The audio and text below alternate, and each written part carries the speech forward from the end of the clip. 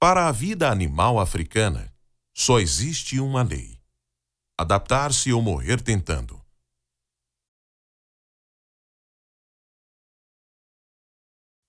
É um teste constante de sobrevivência onde o mais fraco não tem vez.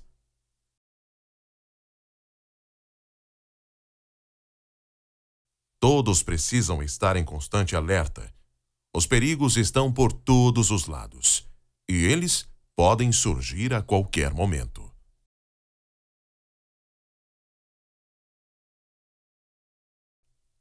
Aqui não há tempo para pensar demais. Todos precisam agir.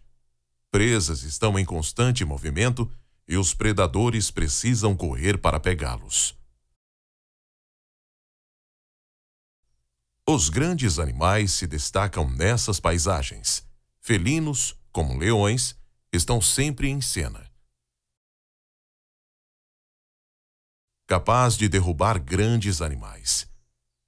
Eles têm privilégios que são para poucos. Leopardos também são grandes, além de possuírem habilidades de assassinos mortais.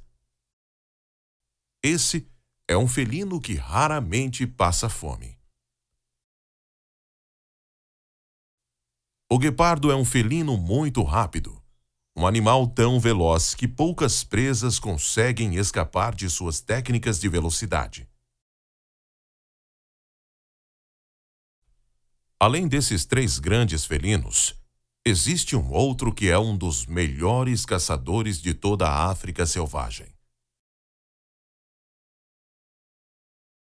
Um gato chamado caracal com seu corpo elegante e aerodinâmico, pelo curto e dourado avermelhado.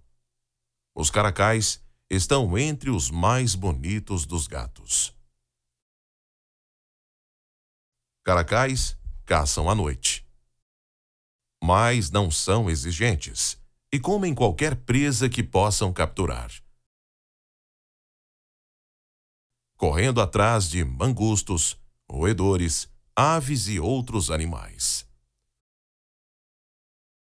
O caracal é um felino com habilidades tão impressionantes que ele consegue até mesmo pegar até macacos de jeito quando eles vacilam.